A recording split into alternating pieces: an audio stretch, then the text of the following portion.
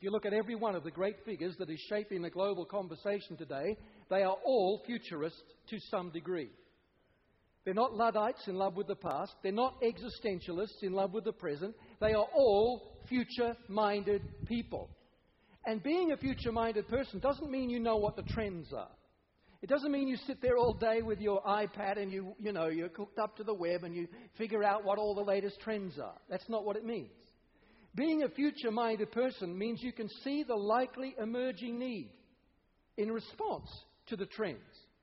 So, as the world changes, what are the needs that people are likely to feel? How do we meet those needs in advance? That's where our influence comes from.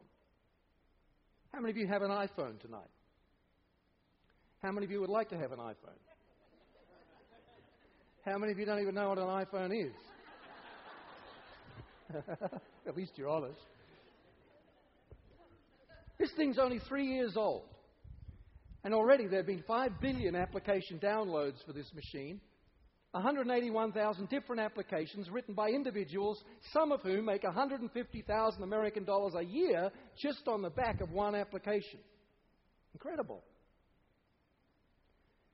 But if you had done a market research survey five years before this came out, you would have found hardly any of those applications came up as pressing human needs. Nobody was saying five years ago, I really need something on my phone to help me turn my car on or unlock my door. I really need something on my phone to help me find my way from the car to the restaurant, which is just over there anyway. But somebody saw and recognized that new technologies present new possibilities, and new possibilities give birth to new needs. Are you still with me? It's about whether or not we can see the likely human need in response to the trends and respond accordingly.